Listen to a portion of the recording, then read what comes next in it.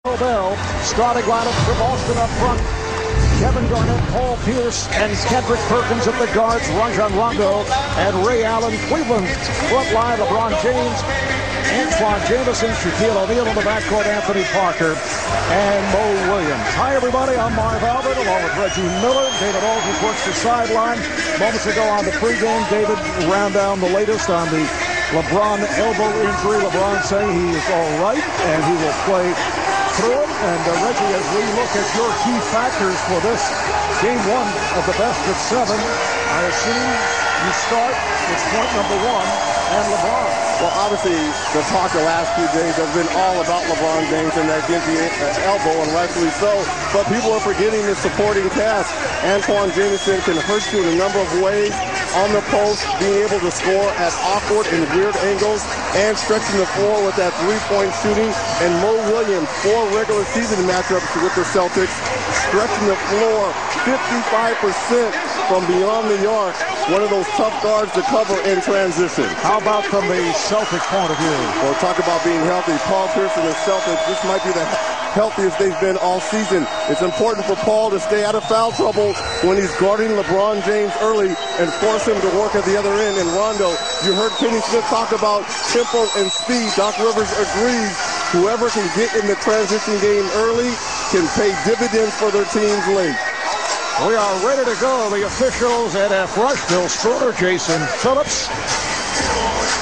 Opening tip controlled by the Cavaliers. And during the regular season, the Celtics and the Cavs split their four meetings, each team winning on the road. And there have been some testy moments throughout this season series as Mo Williams opens up with a short jump shot. Uh, great little dribble action out on the perimeter between the two guards and forwards. Switch action, nice jump shot there by Mo Williams. Paul Pierce the Cavaliers with the best record in the NBA, 61 and 21, opening round of the playoffs. They won that series in five on the turnover. Here comes Pierce. Pierce on the drive, took a hit, was able to lay it home. Two possessions for the Celtics, two buckets by Paul Pierce. We saw a little bit of this in the first round series matchup with the Bulls. James in games four and five kind of going at LeBron James as the Celtics come up with another turnover. Here's play by James. Kicks it out to Perkins. He's tempted. Gets it a bit closer. Rebounded by LeBron James.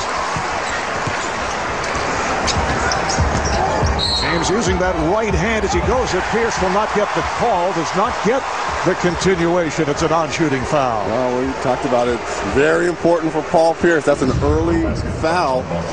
Just under two minutes. His first foul that he picks up guarding LeBron James. He's the only player that the Celtics have at the offensive end that are going to that's going to be able to put pressure on LeBron James. And Doc Rivers telling us earlier he'll start out with Pierce on James. LeBron will also see Tony Allen and perhaps Marquis Daniels, who did not play much in that opening round series. Nearly turnover number three. Well, good job there by the Celtics. LeBron James trying to back down Paul Pierce. You've got to have a foot in the paint let him see green jerseys all around. Cavaliers on the inbounds, and Jamison not able to hit. Here is Rondo. Jamison lost it, but it's retrieved by Parker. Rondo really wanted to throw that basketball out. You never want to jump in the air to pass. He got caught in the air and had to put the ball up at the basket. Shaq getting position down low on Perkins. Crowd wants Shaq to go right at Perkins, and he does. And Mike Brown saying they'll try to get Shaquille O'Neal involved early on. Here's Pierce firing up for three. Parker on the rebound. I like the aggressive nature here in the early start by Paul Pierce. Parker, yes. Known primarily as a jump shooter, especially in those short corners when LeBron James able to get into the teeth of the defense. Surprise move, taking the ball off the dribble. Boston going 50 and 32 in the regular season. Had that shaky finish.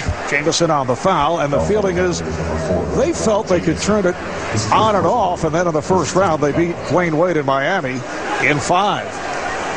Well, I mean, speaking with head coach Doc Rivers, it was really pick your poison last few games of the regular season to try to get that fourth spot to go against the Miami or go down and possibly play Orlando in that second round.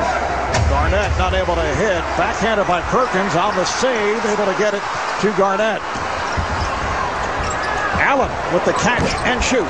And it's a two. He had a foot on the line. He is a major concern of the Cavaliers. Ray Allen has hurt Cleveland in recent years with that uh, lightning quick release.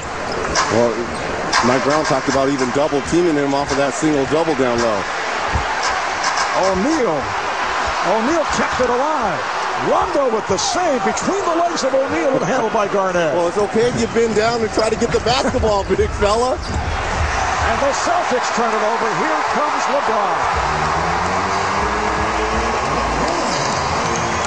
Well, you're wondering if that right elbow is a little bothersome. Usually that would be one of those tomahawk one-hand guns by LeBron James. Playing through that strained right elbow and a bone bruise on the underside of the elbow. Allen misses on a three. Mo Williams in the open court. Celtics get back.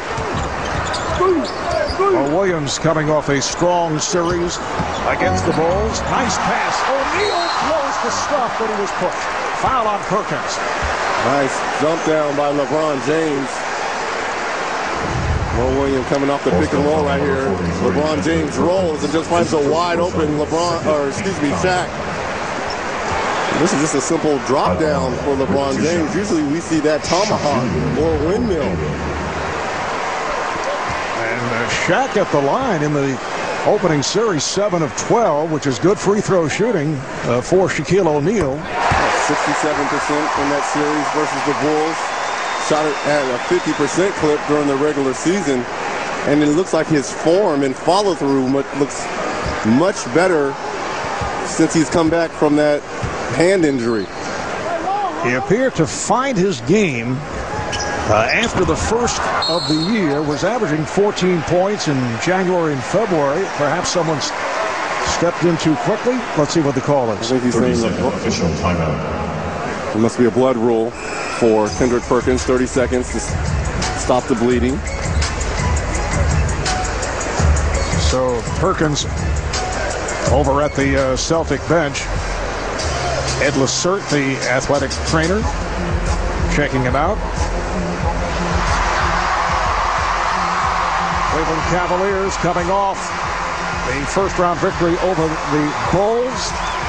Back to back 60 win seasons. One point, they won 13 straight games, one shy of the franchise record. Last season, they won 66 and, and 16, best record in franchise history. And then in the postseason, they swept Detroit, then Atlanta, but in the Eastern Conference Finals, they lost to Orlando in six. And you'll see Kendrick Perkins is headed back to the uh, Celtic locker room. Well, you talk about Danny Ferry surrounding LeBron James with some of the best players in the world, goes out in the offseason and brings Shaquille O'Neal in. But to me, I think the bigger pickup this offseason was Anthony Parker, a player at that 6'6", 6'7 range, being able to guard the bigger defenders. That to me, that was the problem in that series conference finals against Orlando last year, the inability to guard Hedo Turkoglu and his uh, capabilities of stretching the floor. Glen's big baby Davis has come on for uh, Kendrick Perkins. Garnett swings inside on Jamison, and it's put home. Paul Pierce with the follow, so six points for Pierce. Celtics up by one.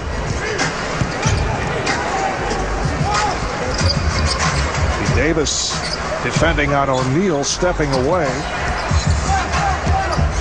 James posting up on Pierce.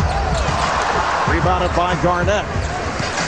Garnett had an excellent first round series against Miami. In fact, Doc Rivers saying that uh, Kevin is as healthy and has played as well as he has all season long as Pierce once again, very assertive here at the start, has connected on four of his first five. Well, you talked about Kevin Garnett being healthy, but Paul Pierce as well. Both of these guys basically got hurt at the same time when this Celtic team had that 23 and 5 record was getting ready to go out west. As you see one of those awkward shots that you're going to see all series from Antawn Jamison. Here's Rondo. Down low to Garnett. Garnett getting position on Jamison.